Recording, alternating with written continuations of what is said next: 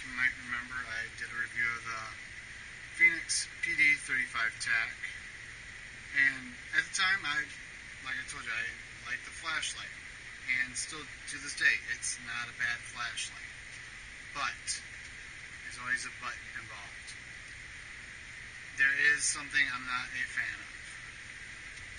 I don't know, see my camera zoom in on this. The button, it's open on both sides here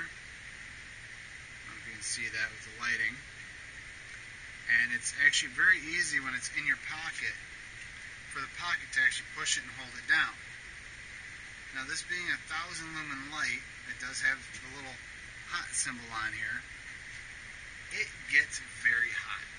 And on two occasions I've actually had to get so hot that it left a red mark on my leg. And at that point I decided to quit carrying it ProTac 2L. Now, if you remember in the video, my old one had a lot of wear on it. It was missing most of the anodizing. I've been carrying it for a little bit over three years according to the date on it. Well, I started carrying it and I broke it. Completely my fault. I sent it back to Streamlight and they sent me a brand new light.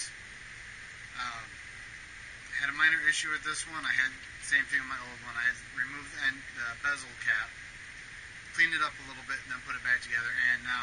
works 100%. Size-wise, like I told you in the previous video, this is a lot.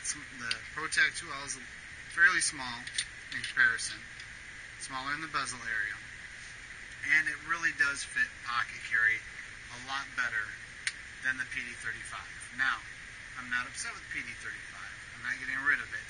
It's actually going to be relegated to a rifle light simply due to the fact that it does have the multiple modes.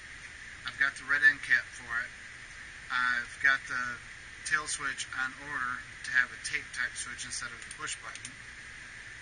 And the 1000 lumens on a rifle is very, very nice to have. So, it's getting relegated to that duty. The ProTac 2L at 260 lumens is going to stay pocket carry and have the best of both worlds. Just for I give you an update, once again, Howley, stay safe.